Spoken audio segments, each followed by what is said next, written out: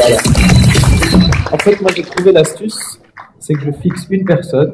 Euh, alors, regarde, il va y avoir tes parents, je crois, sont pas loin. Voilà, ta maman, par exemple. Allez, à tout à l'heure. Bonjour tout le monde. Bonjour Agnan. Merci, c'est parti.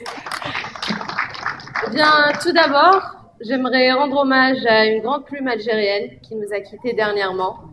Et euh, je dirais que le monde littéraire euh, pleurera longuement sa perte. Je parle bien sûr de Madame Assetupal.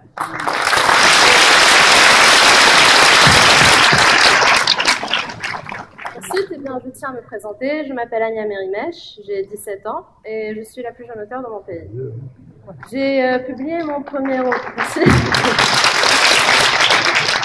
J'ai publié mon premier roman à l'âge de 15 ans, qui s'intitule Alexander, la chute aux enfers. Ensuite, à l'âge de 16 ans, j'ai publié un conte pour enfants qui se nomme La nuit au de soleil. Et en novembre dernier, j'ai édité mon troisième roman, Nos âmes.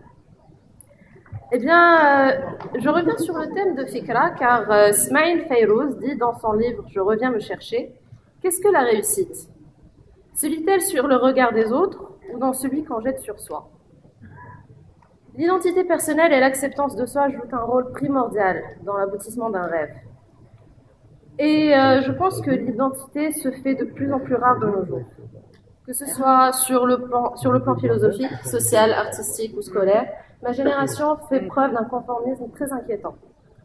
La famille joue un rôle important dans cette détérioration de la notion de soi, en partie à cause de la comparaison.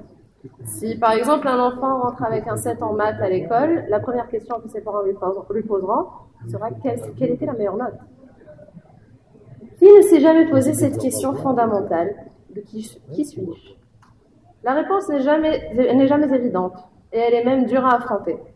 Mais je remarque que ma génération a plus tendance à opter sur le changement de personnalité plutôt que sur l'acceptance de soi afin d'entrer dans une norme euh, plutôt que d'accepter sa singularité et en faire, un, et en faire en fait un atout. C'est justement ce sujet d'identité que j'aborde dans mon troisième roman, Nos âmes, et j'espère qu'en le refermant, mon jeune lecteur algérien réalisera que ces différences sont un joyau qu'il est censé beaucoup chérir. Merci. Merci.